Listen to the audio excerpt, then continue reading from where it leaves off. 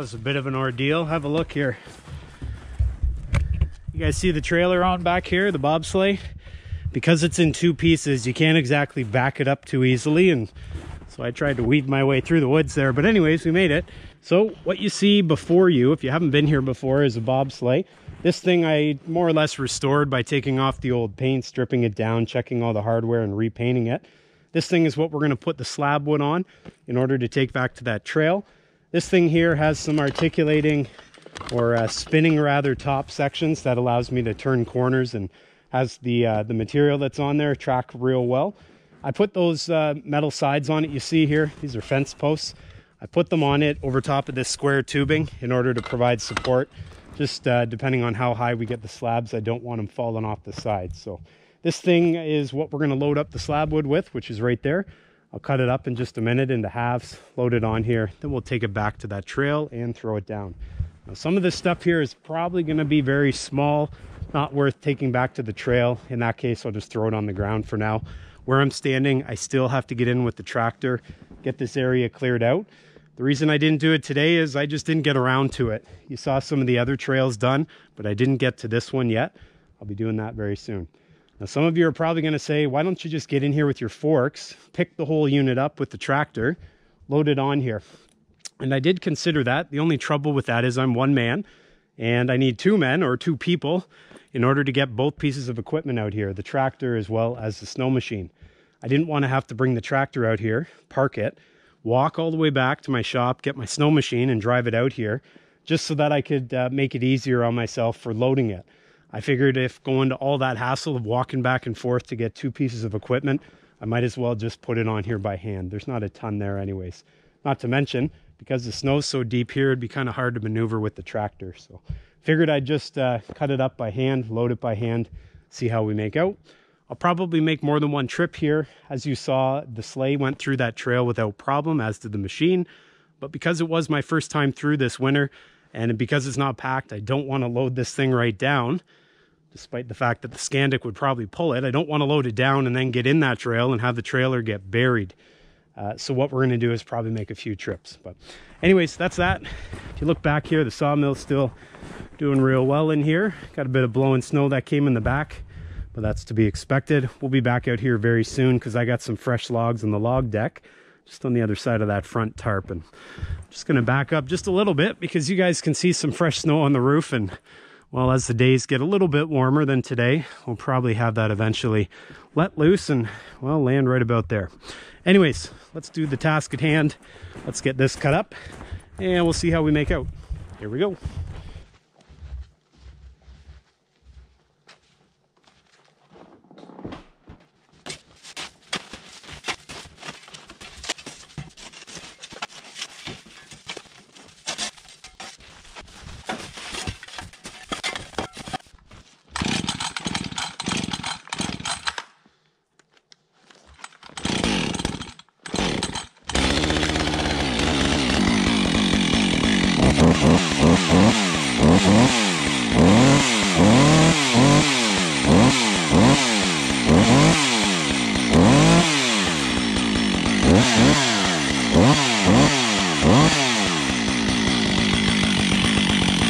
Música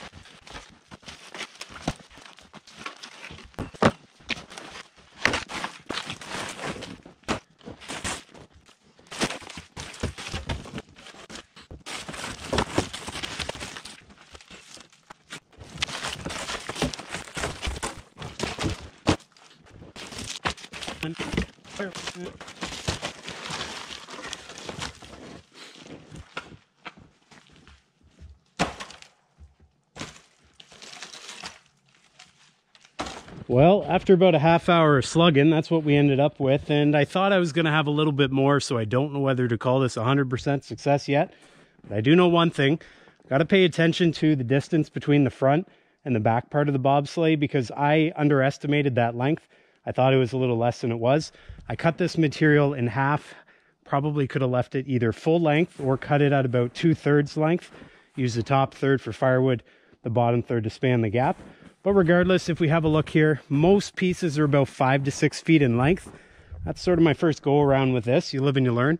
Next time, I think I'll make it a little bit longer. But then again, I don't exactly know what width I need for the trail yet. So we'll put this down and next round, we'll put it a little bit longer. We have a look here. We're left with a fair bit of scrap here. Turns out a lot of the wood that was underneath was just the uh, just the edges. So I was doing a bunch of edging. I uh, since forgot about it. And so it exposed itself when I started cutting. So we'll end up using that for firewood and put it in the IBC cages over there. Really, really good kindling in here. Most of this is going to be fairly dry in no time. Anyways, we're going to make our way over to that trail here. This wood I don't think is all that heavy, but I guess we'll find out. I've not really towed uh, any uh, logs of any weight on here yet. I've towed people on here, and I can tell you there was definitely over a thousand pounds of people when I had the top on this bobsleigh And my old Skandic there pulled it without problems. But one thing I will tell you, this corner will be an issue. I know it for certain. When you get weight on with that Skandic, it'll pull it in a straight line, but don't expect to be making any sharp corners. So we got to go down that way and we got to somehow get the machine around this way. So you guys will see exactly how that works. I suppose we could go that way, but then it's quite a long trek back to the trail. So we'll try to make our way around this corner Wish me luck. Here we go.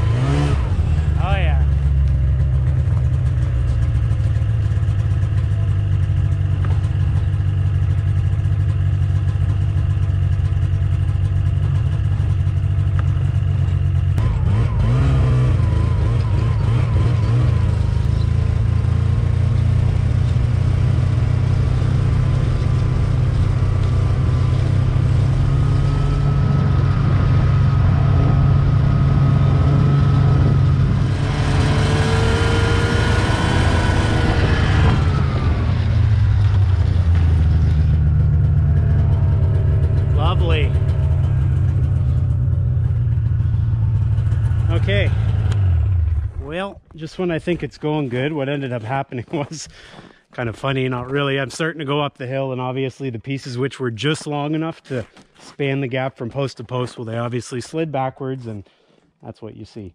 Anyways, glad I uh, caught this before I got to the top of the hill. We'll rejig this and uh, we'll keep rolling. Away it goes.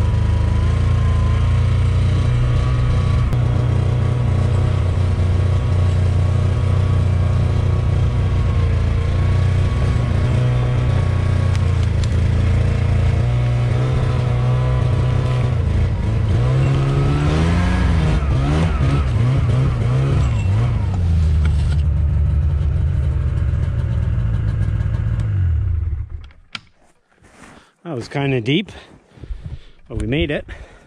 Anyways, I learned a lot on that little trip. First thing I learned was make sure I get the correct length pieces cut before I try loading it on here.